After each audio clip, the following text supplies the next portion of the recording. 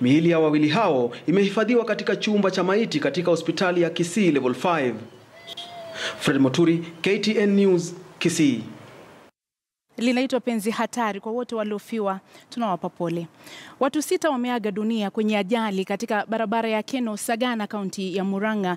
Mtazamaji, inaarifu kuwa ajali hiyo ilitokea baada ya matatu walimokuwa wakisafiria kutoka Nairobi kuelekea Meru kugongana na lori. Inadaiwa matatu hiyo iligongana ana kwa ana na lori lilokuwa ikitoka upande wa Sagana. Abiria watano walifariki papo hapo, huku mmoja akifariki alipokuwa akipokea matibabu. Majeruhi watano wanapokea matibabu katika hospitali ya Thika Level 5.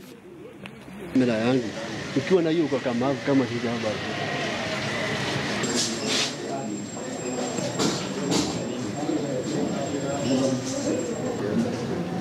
Nimesikia usema